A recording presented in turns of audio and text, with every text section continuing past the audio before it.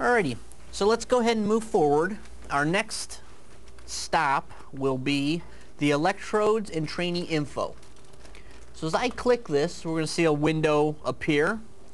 And what we have here is a labeling mechanism to tell you where are the sites going to be, where are you placing the electrodes, and it's going to give you access to the channels that you have had, that you've selected.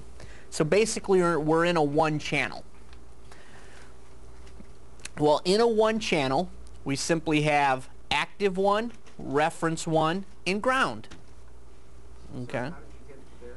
That was right at the bottom of data channels. Electro data channels. Mm -hmm. All right. Once you're here with your active, you can select the site that you're going to place the electrode. Same with reference and ground. We give you a little um, description here, little head showing you some of the different sites. But there's some other things to look at on the screen. Right now this is a 1 channel, but let's say it was a 2 or a 4 and we were looking at z-scores for instance. Of course the sites are very important, but we have some other decisions we'd have to make. You'd have to put an age, saying how old is the client that we're currently going to train and whether their eyes are open or closed. Okay? Two different databases depending on whether their eyes are open and closed. Everybody clear there? With this circumstance being a single channel, just with the alert settings, this is simply labels. It's not doing anything else. Even if I have something labeled wrong and I put the electrode where it's supposed to go, doesn't affect anything but it's a really good tool for if you have techs or anything like that working with you so that they know where to put the electrodes because when we get to the training screen and we start to run the next session, it's going to prompt you and say place electrodes at blah blah blah. So having them correct's a good idea. If you're using cap, let's say your, your electrode is F5 or wherever, and your reference one is A1, um, where's the ground on this on this design, meaning on the, the head thing here? Yeah. Well, the ground is simply wherever you want to put it. Like, for instance, I have the ground at A2. A2 is the ear. Okay. I can put the ground at CZ. But I don't see an A2 on, on the drop-down on the ground.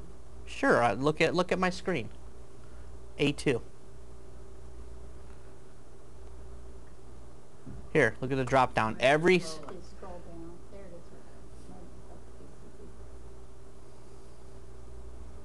Okay? All every drop down's the same.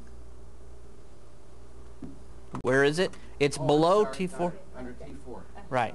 Okay. Do you say in this uh, protocol that you're running or whatever it overrides whatever this information is? No. No, this is simply a label. This protocol, since it's not a z-score protocol, doesn't really care where you put the sites. This is to help you. This is a tool for you to use on the cap there is a ground.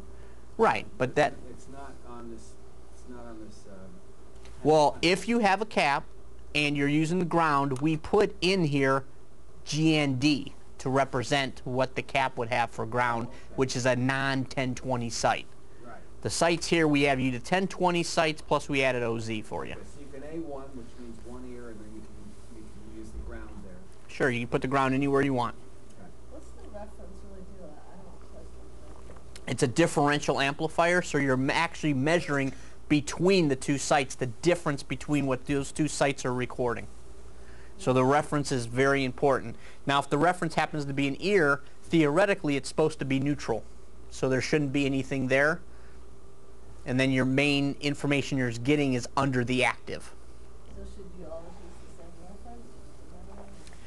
reference? That's protocol specific. Some people do what's called a bipolar protocol, which they're actually going to use a um,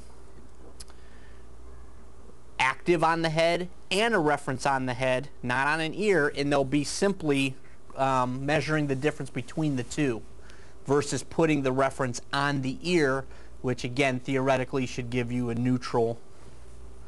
But Yeah, z-scores assume they are linked ears and you're not referencing somewhere else on the head. Because that's completely different. And then, um, uh, the use session wizard to control session for use with MiniQ, is that also gonna work for the discovery? Did we get there yet, Gwen? Well, I'm jumping ahead, I gotta know, you know, my minds wanna know. All right.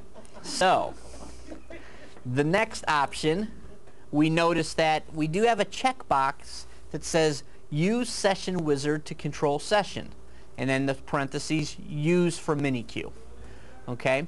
If you basically not as much mini MiniQ, it almost should say mini MiniQ2. But if you have a mini MiniQ2 and you check this, then the system knows you're not at just C3 or just C.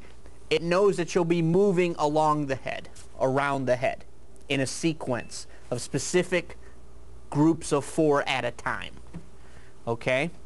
And then the question that Gwen had mentioned is, will you use this for the Discovery also? And the answer to that is no, because the Discovery has its own software. That's Discovery software.